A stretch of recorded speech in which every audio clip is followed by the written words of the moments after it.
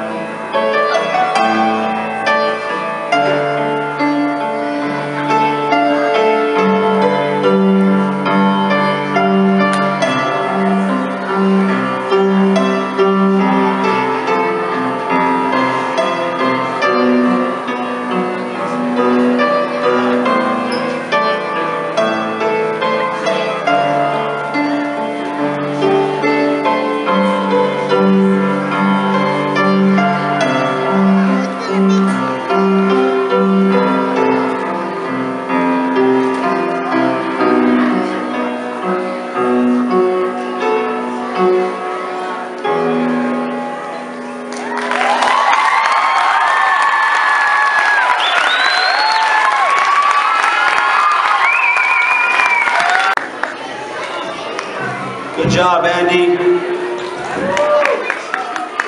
That's a lot of talent right there. You guys having fun?